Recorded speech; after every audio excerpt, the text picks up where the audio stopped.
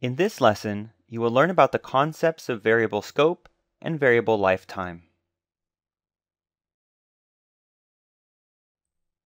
By default, variables are locally defined.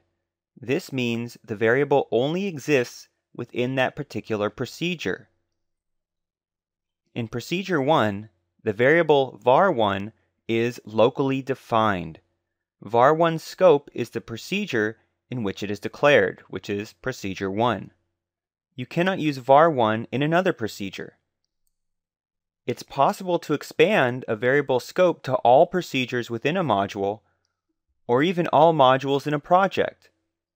However, expanding a variable scope increases the risk of making errors that are very difficult to locate, and this practice is not encouraged except in very specific situations. By default, variables exist as long as a procedure is still running. As soon as a procedure is terminated, all variables within the procedure are wiped out. The concepts of variable scope and variable lifetime are demonstrated in the next example. In this program, a subprocedure named main calls a subprocedure named subby. When this program is run, four message boxes will appear. The first message box states, before subby 1, 2, 5, 6. The second message box states 5, 6, 0, 0. The third message box states end of subby 100, 200, 0.1, and 0.2. And the fourth and final message box states after subby 15, 40, 100, 200. Let's go through this code line by line. We use the option explicit statement, so we must declare all our variables. In the subprocedure main, we declare four variables, a, b, x, and y, and give them a double data type. This brings into existence the variables a, b, x, and y in main. A is assigned the value 1, b is assigned the value 2, x is assigned the value 5, and y is assigned the value 6. A message box is created that states before subby the value of a, the value of b, the value of x, and the value of y. These values are 1, 2, 5, and 6. Next, the subprocedure named subby is called. The program halts and waits for subby to finish before continuing in main. At this moment, the variables m, n, a, and b in subby are brought into existence. These four variables automatically are given a double data type since the variables a, b, x, and y in main are double. The variables a, b, x, and y in main are linked with the variables m, n, a, and b in subby. The variable a in main is linked with the variable m in subby. The variable b in main is linked with the variable n in subby. The variable x in main is linked with the variable a in subby, and the variable y in main is linked with the variable b in subby. This means the value of m in subby is initialized to 1, the value of n is initialized to 2, the value of a is initialized to 5, and the value of b in subby is initialized to 6. It's very important to remember that the variables a and b in main are not linked to the variables a and b in subby. Instead, a and b in main are linked to m and n in subby. The variables a and b in subby are linked to the variables x and y in main.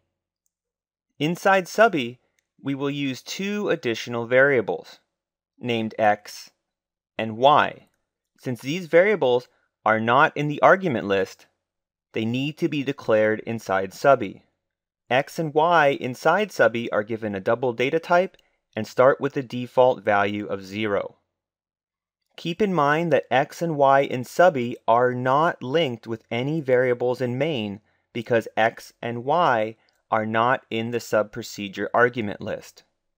If the value of x or y inside subby changes, no variables in main will be affected. At this point, there are 10 variables in existence. Four variables are in main named a, b, x, and y, and six variables are in subby named m, n, a, b, x, and y. Just as a reminder, the variable a in main is linked with m in subby, the variable b in main is linked with n in subby, the variable x in main is linked with the variable a in subby, and the variable y in main is linked with the variable b in subby. Inside subby, a message box appears that states start of subby, the value of A, the value of B, the value of X, and the value of Y. The current values of A, B, X, and Y in subby are 5, 6, 0, and 0. Now we assign new values to all the variables in subby. The variable m in subby is assigned 15, n in subby is assigned 40, a in subby is assigned 100, b in subby is assigned 200, x in subby is assigned 0.1, and y in subby is assigned 0.2. Next, a message box appears that displays the text end of subby, and then the values of a, b, x, and y. The values of these four variables inside subby are now 100, 200, 0.1, and 0.2. The statement end sub terminates the sub procedure named subby. And now we return to main. The values of m, n, a, and b were all changed inside subby. This will cause the values of a, b, x, and y in main to change as well. The variable a in main has the same value as the variable m in subby, which is 15. The variable b in main has the same value as the variable n in subby, which is 40. The variable x in main has the same value as the variable a in subby, which is 100, and the variable y in main has the same value as the variable b in subby, which is 200. When subby is terminated, the variables a, b, m, n, x, and y inside subby are terminated as well, and the information stored in them is lost forever. Back in main, the last message box displays after subby, and then the value of a, b, x, and y. The value of these four variables in main are 15, 40, 100, and 200. When the end sub statement is executed, the subprocedure main is terminated and the variables a, b, x, and y in main also are terminated. As you can see from this example, sometimes it's difficult to follow the flow of data in a program that has procedures, especially if there are a lot of arguments. At this early stage of your computer programming training, it can be very helpful to keep track of the values stored in all your variables by writing them down on a piece of paper as you work through a program.